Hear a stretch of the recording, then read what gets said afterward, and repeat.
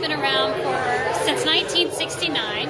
Uh, we put on several major events a year, including Ghost Walk Riverside. We do outreach programs, and we're really proud of, about the artistic direction our ballet is going in and what we have to offer this community in terms of performances and outreach. Give Big Riverside seemed to be a great opportunity for all the nonprofits in the region to come together for a single cause, to get, to get the city involved, to get the community involved in supporting all these great organizations from the arts to uh, rehabilitation programs and children's programs. And it seems a great way to show the community that the arts and the nonprofit community are also together and supporting one another.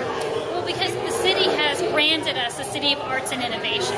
We're here to to to bring those to the forefront. There's just so many different types of art, from theater to dance to, to ballet to uh, music, uh, and so much to offer. And it enriches our lives in such a positive to support it is just a great thing for our kids and for our community.